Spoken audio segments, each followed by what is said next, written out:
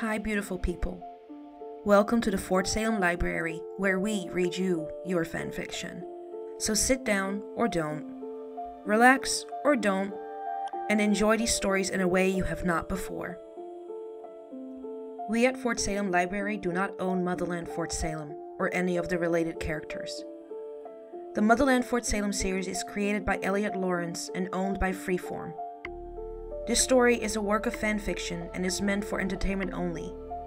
We are not making any profit from these stories. All rights of the original Motherland Fort Salem story belong to Freeform.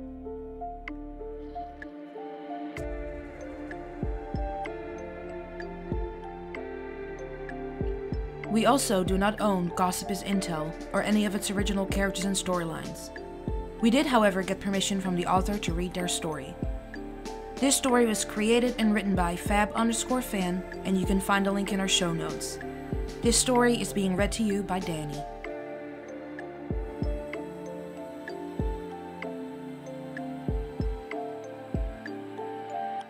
Gossip is intel.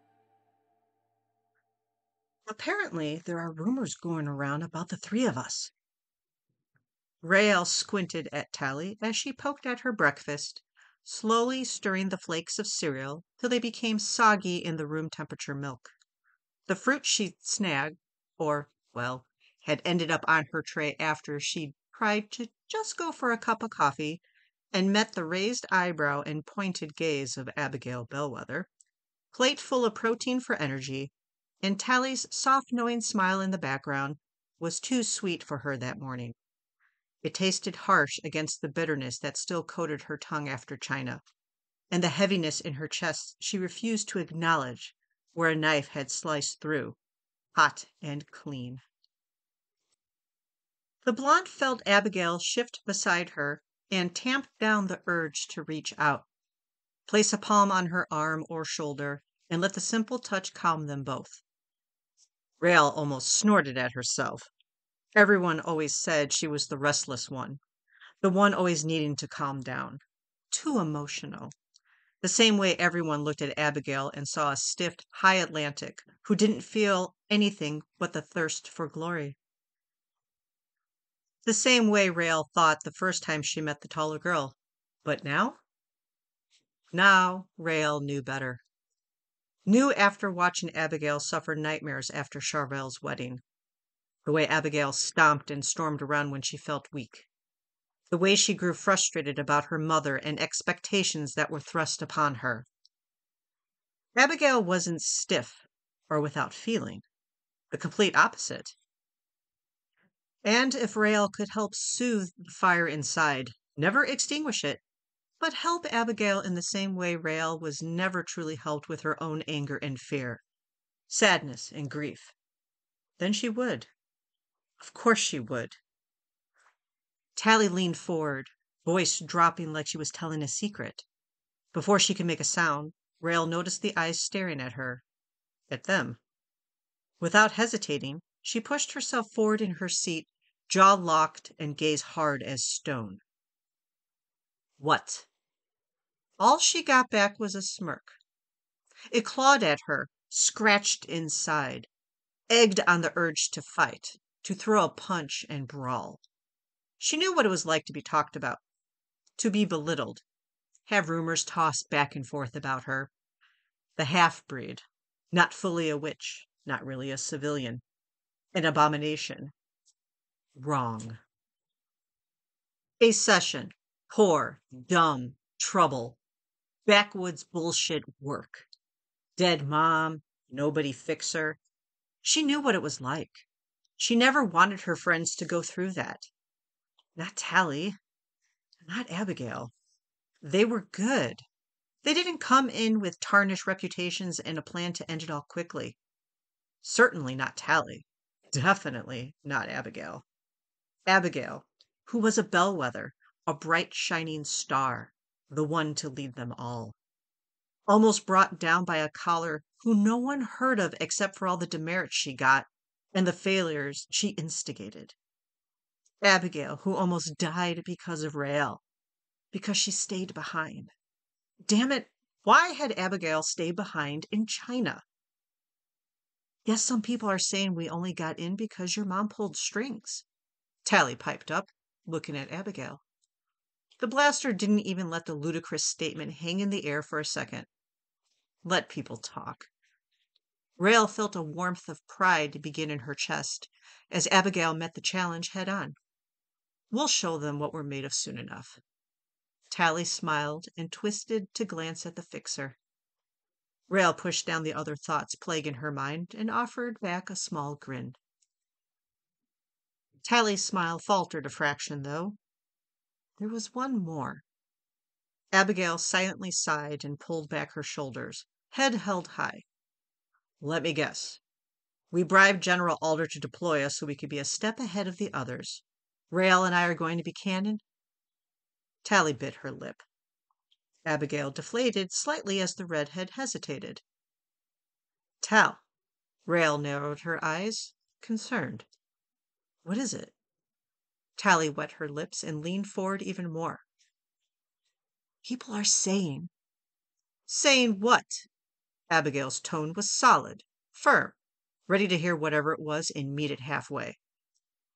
Tally peeked around before whispering, That you two, you know. She gestured between Raelle and Abigail. We two what? Abigail asked. Raelle blinked. Her mind whirred.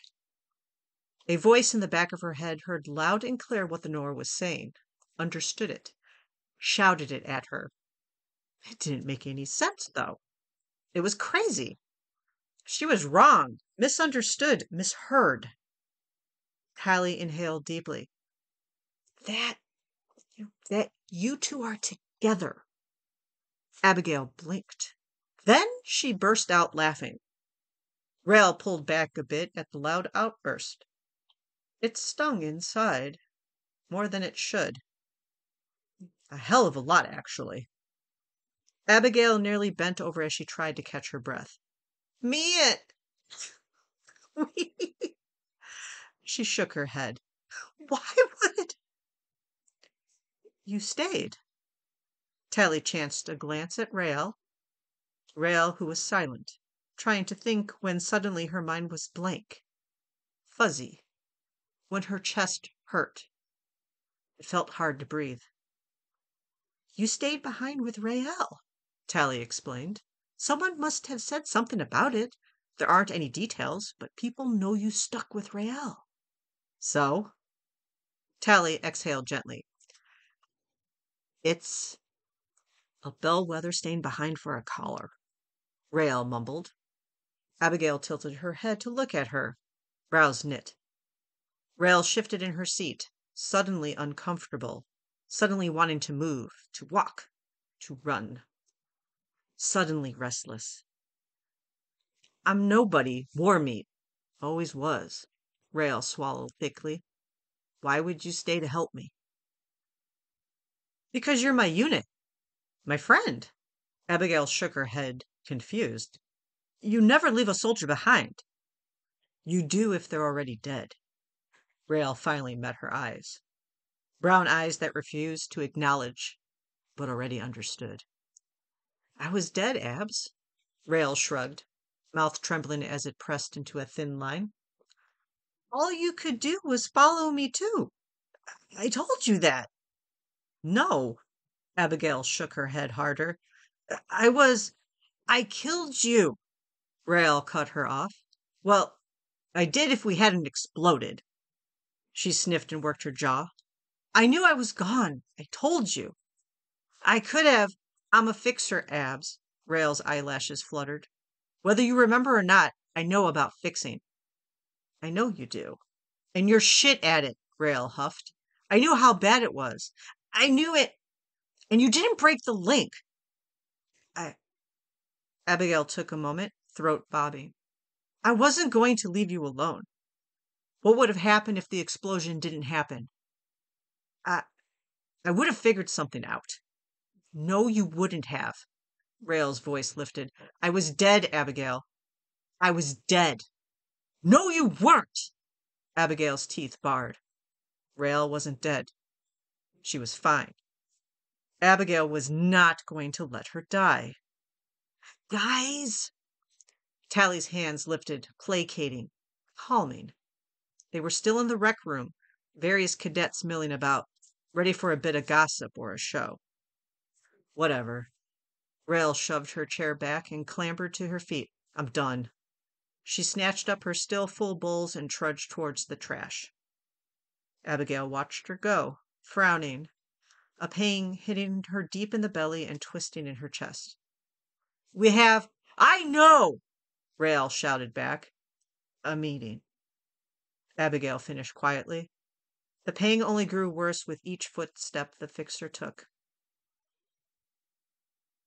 There's. Uh, there's one more thing.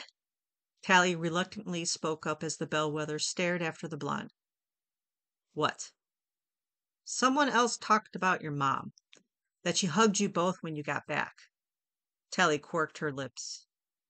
That I'm the tag along, but your mom got you and Raelle in because. because we're together. Tally nodded.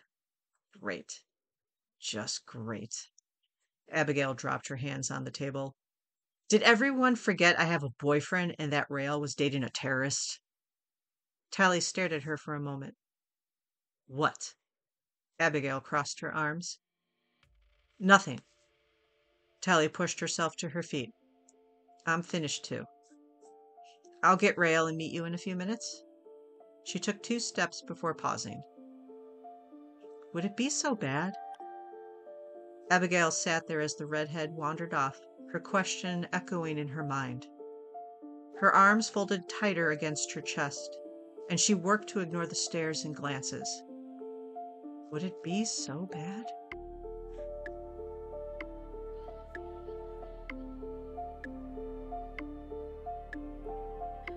Please find the fanfiction you just listened to on Archive of Our Own and leave the author some love.